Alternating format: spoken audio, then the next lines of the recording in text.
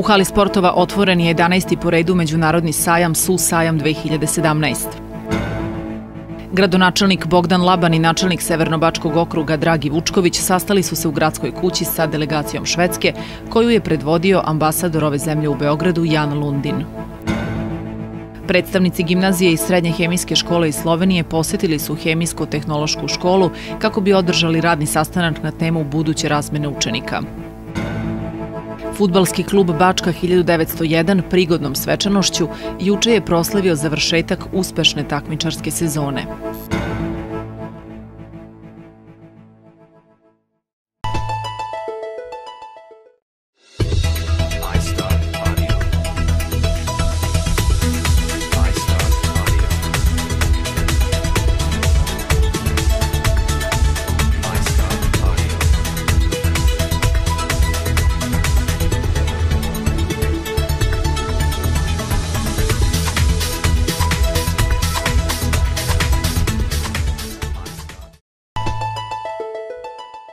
Dobroveče, poštovani gledaoci. Ja sam Silvija Kozma, vi pratite Infoblok Jueko televizije. U hali sportova otvoren je 11. po redu Međunarodni sajam SU sajam 2017. Na sajmu učestvuje preko 200 izlagača iz sedam zemalja. Grad partner na ovogodišnjem sajmu je grad Sandviken iz Švedske, a ovogodišnja smotra privrede posvećena je turizmu. U ime pokrajinske vlade, pokrajinski sekretar i potpredsednik pokrajinske vlade Ivan Đoković pohvalio je ovu manifestaciju kao i organizatore. Đoković je podsjetio da su Palić, Subotica i Potisje prepoznati kao strateške turističke destinacije u strategiji razvoja turizma Republike Srbije, te je naveo da će se pokrajinska vlada zalagati za dalji razvoj turizma na ovim destinacijama. Partnerstvo uh, uh, Skandinavije, odnosno partnerstvo uh, Švedske i grada Sendvika potvrđuju da Subotica ima svoje mesto u međunarodnom turističkom i prijednom prostoru. Pokrinjska vlada će u narednom periodu posebno razvijati turistički klaster Palić, Subotica, Potisje i mislimo da možemo da generišemo novu turističku tražu u međunarodnim okvirima koji će rezultirati time zasigurno da će Subotica biti prepoznate kao međunarodna turistička destinacija, a ne samo jedno gravitacijono područje u okviru Republike Srbije autone pokrajine Vojvodine. Iz regionalne privredne komore poručuju da je Privredna komora Srbije postavila privredu u poziciju koja mora biti vodeća, te da je zdrava ekonomija osnova svakog društva. Takođe navode da je Srbija konkurentna svim tržištima. Srbija ne može da ostane bez svoje privrede i dobro došao svaki onaj koji je došao kod nas, ali oni u ovoj zemlji rade po propisima ove zemlje i pripadaju ovoj zemlji a svi ti propisi su usaglašeni sa zemljama Evropske unije. Naša konkurentnost je stavljena na tacnu svima i nosimo se ravnopravno na čitavo svetsko tržište, bez obzira što još uvijek nemamo uslove kao što imaju oni. 11. Međunarodni sajam su sajam 2017 organizovali su grad Subotica, javno-komunalno preduzeće Subotičke pijace i regionalna privredna komora. Ova manifestacija trajeće do subote, a za posetioce je organizovana i nagradna igra. Gradonačelnik Bogdan Laban i načelnik Severnobačkog okruga Dragi Vučković sastali su se u gradskoj kući sa delegacijom Švedske, koju je predvodio ambasador ove zemlje u Beogradu Jan Lundin. Na sastanku su razgovarali o uspešnoj saradnji Subotice i Sandvikena, te zajedničkom projektu koji za ciljima pružanje podrške privrednicima, razvijanje demokratije i veće učešće žena u političkom odlučivanju. U godini kada Švedska i Srbija slave vek od uspostavljanja diplomatskih odnosa, ambasador Lundin je rekao da bi saradnja dva grada mogla poslužiti kao primjer i ostalima, te da je potencijal za širu saradnju dve zemlje veliki. Energetska efikasnost i inovacije u ekologiji su teme kojima će biti posvećena veća pažnja u budućim zajedničkim projektima. Mislim da, da Subotica uh, u saradnji sa, sa partnerima iz Sandvikena može biti jedan od primjera dobre prakse kako može da se sarađuje između uh, uh, u regionalnom povezivanju ili u povezivanju lokalnih administracija i da to nije nikakav uh, bauk. Potrebno je prepoznati zajedničke imenitelje i otvoriti komunikaciju. Mislim da u tom pravcu će Subotica možda biti primer u Srbiji. Švedska obeležava 100 godina diplomatskih odnosa sa Srbijom.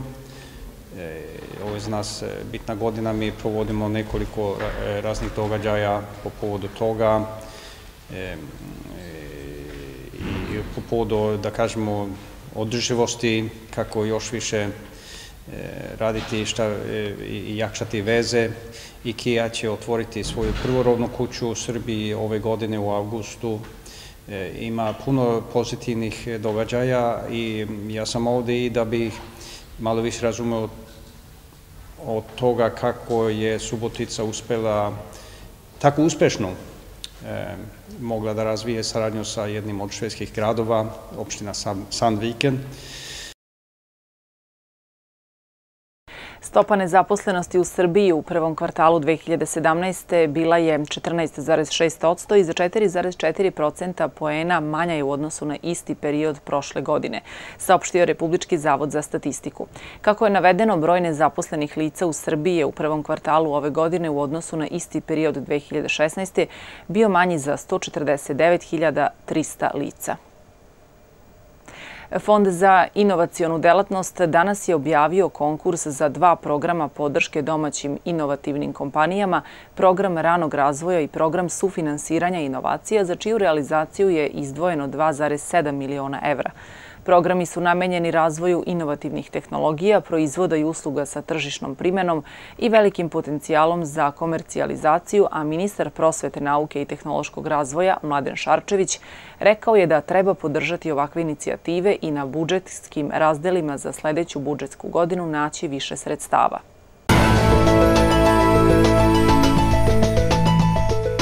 Predstavnici gimnazije i srednje hemijske škole iz Ruša iz Slovenije posetili su hemijsko-tehnološku školu kako bi održali radni sastanak na temu buduće razmene učenika. Gosti iz Slovenije su u sklopu uzvratne posete našoj zemlji imali priliku da se upoznaju sa radom hemijsko-tehnološke škole, gradom i okolinom. Saradnja dve škole ostvarena je u aprilu posetom predstavnika Hemijsko-tehnološke škole kolektivu iz Ruša, a cilj uzvrtne posete predstavnika iz Slovenije koje traje tri dana jeste dogovor o razmeni učenika koja bi omogućila đacima razmenu znanja, iskustava i druženje. Računam da ćemo neka iskustva moći da primenimo i, kao što sam malo pre rekao, druženje učenika predstavlja primarni cilj, ali takođe ćemo se potruditi da naša saradnja obuhvati eventualno i neke projekte, s obzirom da smo donekle u područjima rada kompatibilni, tako da sigurno će ova saradnja da bude mnogo kompleksnija i računamo i tradicionalno. Direktor, pomoćnik direktora i dve profesorke iz Ruša obišli su Hemijsko-tehnološku školu u Subotici, a radni sastanak je obeležio razgovor o sličnostima i razlikama u sistemu obrazovanja dve zemlje i razmeni učenika. Predstavnici Slovenije iz mesta Ruše, koje se nalazi 15 km od Maribora, napominju da postoji velika sličnost u obrazovnim sistemima Srbije i Slovenije i da prilikom planirane razmene učenika neće postojati jezička barijera. Naši utisci su izvanredni. Kad gledam ovo školo, vidim dosta podudarnosti sa našom školom. Svi smo hemičari i vidim ove laboratorije što su dosta dobro upremljeni, tako da nema velikih razlika. A što je najvažnije, vidim da se stručnjaki, nastavniki ovde i naši slažu i mislim da u toga će biti neki dobri rezultati. Jer iz mene iskustva, programe i ono što će e, džaci e, stvoriti, to će biti možda najvažnije. Planirano je da u toku septembra grupa profesora i 15 učenika Hemijsko-tehnološke škole iz Subotice otputuje u Sloveniju na pet dana kako bi razmenile iskustva i znanja sa vršnjacima, a uzvratna poseta učenika i profesora iz Slovenije planirana je na proleće naredne godine. Mreža organizacija za decu Srbije povodom Međunarodnog dana deteta 1. juna saopštila je da je pravo na obrazovanje jedno od osnovnih ljudskih prava koje ima veliki značaj za ostvarivanje i svih drugih prava. Kako se navodi pristup kvalitetnom obrazovanju, treba da bude omogućen svakom detetu pod jednakim uslovima u skladu sa njenim ili njegovim mogućnostima i sposobnostima.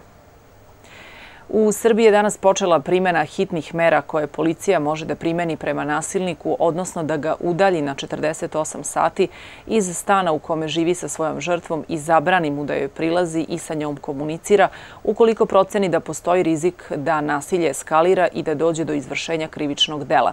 Mera udaljenja će biti primenjena prema nasilniku bez obzira da li je on vlasnik stana ili sa žrtvom živi u iznajemljenom stanu, a ukoliko sa žrtvom ne živi, bit će mu izrečena samo mera za zabrane prilaska i komuniciranja.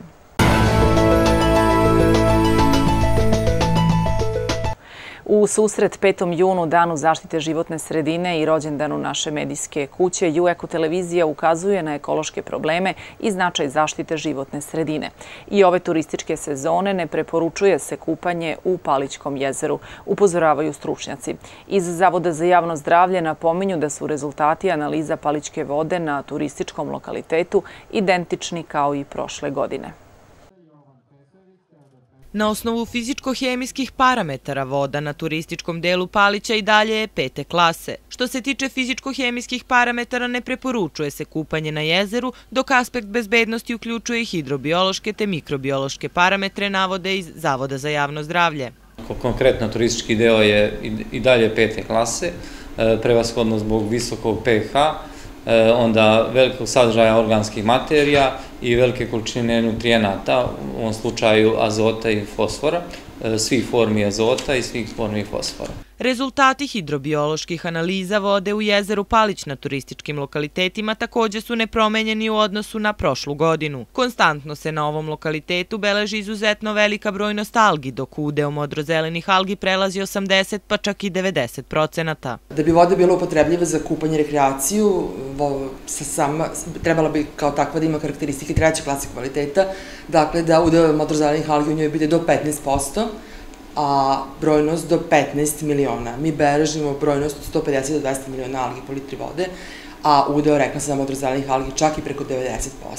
Sa ovog aspekta, dakle, kupanje u jezeru se ne preporučuje. Subotičanima se i ove godine savetuje da se u vrelim letnjim danima osveže na nekom od gradskih kupališta, te da popularna turistička destinacija Palić i ove godine bude rezervisana za šetnje, vožnje bicikala te konzumiranje domaćih vina i vojvođanskih specialiteta. U okviru prolećne akcije čišćenja grada, kontejneri za sakupljanje kabastog otpada iz domaćinstava će sutra i u subotu biti postavljeni u mesnoj zajednici GAT na uglu ulica Bartola Kašića i Ruđera Boškovića, Ivana Kukuljevića i Dragojle Jarnević, Marka Oreškovića i Banacke, Velebitske i Gundulićeve Filipa Kljajića i Bačke.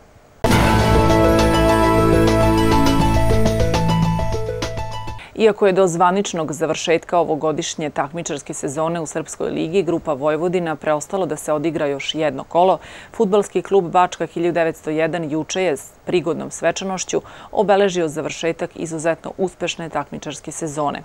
Tim povodom na terenu kraj Somborske kapije, pored igrača i članova stručnog štaba, prisutni su bili i predstavnici ovdašnjih medija koji su redovno pratili sve mečeve ovdašnjih crveno-belih.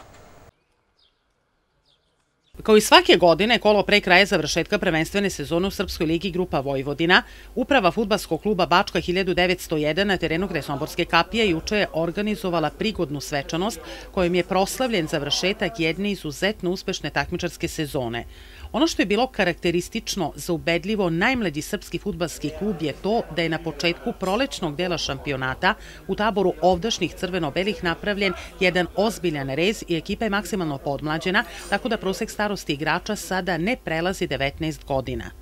Pa evo, pa ja bih se zahvalio upravi kluba stručnom štabu na jednoj izuzetno lepoj polosezoni, to jest kompletnoj sezoni da su pružili šansu ovim mladim igračima koji su pokazali da imaju perspektivu i lepa je budućnost pred njima, moraju ovako da nastave i da bi neko nešto napravio lepo, samo moraju da rade i da, da slušaju i uspeće. Tokom cele prolećne polusezone, osim aktuelnog sportskog direktora Milojka Vukadinovića i njegovih najbližih saradnika, malo ko je verovao u ovu ekipu golobradih, ali neosporno talentovanih futbalera, koji su uprkos svom neiskustvu pokazali da mogu ravnopravno da se nose sa mnogo starijim i jačim ekipama u ovom izuzetno kvalitetnom rangu takmičenja.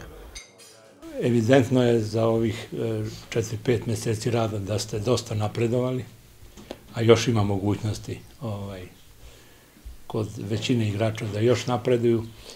E, imali smo dosta konstantnu polusezonu što se tiče forme i igre. Imali smo problema u kadrovskih, malo što nismo našli igrača koji je mogao da realizuje bezbroj, bezbroj šanse što smo stvarili na svakoj utakmici. I tu se krije razlog zato što nismo možda još jedno 5-6 boda osvojili. Do zvaničnog završetka ovogodišnje prvenstvene sezone u Srpskoj ligi Grupa Vojvodina ostalo je da se odigra još jedno kolo koje je na programu u subotu 3. juna, a u okviru njega futbaleri Bačke 1901 biće gosti prvoplasiranog bratstva 1946 iz Prigrevice, dok je prva prozivka igrača za novi šampionat zakazana za 3. jul u 18 časova. Ja bih se samo zahvalio futbalerima, stručnom štabu, uh, upravi, medijima, za zaista izuzetno ostvarenom uspehu u ovoj polusezoni, gde smo pokazali da možemo s ovom mladom ekipom mnogo i nadam se da ćemo na početku sledeće to dokazati i da ćemo napraviti još veći uspeh nego ove sezone. U predposlednjem 13. poredu kolu Superlige desetkovani košarkaši Spartaka sinoć su poraženi u Beogradu od Mega Lexa sa 93 prema 68. U ovaj meč favorizovani domaćini ušli su sa imperativom pobede jer im je glavni cilj da prvenstvenu sezonu završe na trećem mestu na tabeli kako bi u play-offu izbegli prvoplasiranu i neprikosnovenu crvenu zvezdu. Samo u inače odličnoj prvoj četvrtini koja je završena minimalnom prednošću Mega Lexa od 22 prema 21, Subotičani su bili ravnopravan protivnik dok je u nastavku ovog duela domaćin vodio glavnu reč na parketu. Uprko stankoj klupi Spartaka od samo devet igrača, Subotičani su smogli snage da treću deonicu reše u svoju korist sa 21 prema 18, a druga i poslednja četvrtina ubedljivo su pripale Megalexu sa 22 prema 11, odnosno sa 31 prema 15. Najefikasniji igrač u redovima košarkaša Spartaka sinoć je bio Ivan Jelenić koji je postigao 19 koševa, dok su po 13 pojena upisali Igor Kesar i Nemanja Miščević. U poslednjem kolu koje je na programu ponedeljak 5. juna košarkaši Spartak u hali sportova dočekaće ekipu Vršca.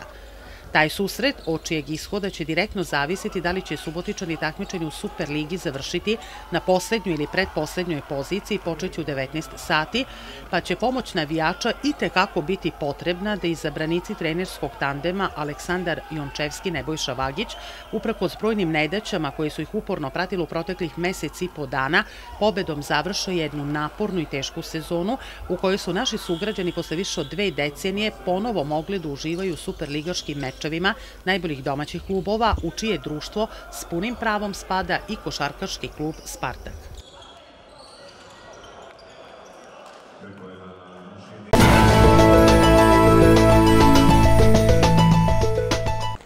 Sledi vremenska prognoza. Sutra prepodne oblačno i suvo, popodne umereno oblačno, duvaće slab vetar, minimalna temperatura 16, a maksimalna dnevna 26 stepeni. Očekivane biometeorološke prilike mogu imati nepovoljan uticaj na hronične bolesnike, ali se osobama sa kardiovaskularnim i disednim problemima posebno obraćuje pažnja. Meteoropatske reakcije su moguće u vidu neraspoloženja i bolova u mišićima. I zdravima i obolelima se preporučuje umerena fizička aktivnost. Oprez učesnicima u saobraćaju. Još jednom gledamo najvažnije vesti. U hali sportova otvoren je 11. po redu Međunarodni sajam SU sajam 2017. Gradonačelnik Bogdan Laban i načelnik Severnobačkog okruga Dragi Vučković sastali su se u gradskoj kući sa delegacijom Švedske, koju je predvodio ambasador ove zemlje u Beogradu Jan Lundin. Predstavnici gimnazije i Srednje hemijske škole iz Slovenije posetili su hemijsko-tehnološku školu kako bi održali radni sastanak na temu buduće razmene učenika. Futbalski klub Bačka 1901 prigodnom svečanošću juče je proslavio završetak uspešne takmičarske sezone. Bio je ovo Infoblok. Ostanite i dalje uz Jueko.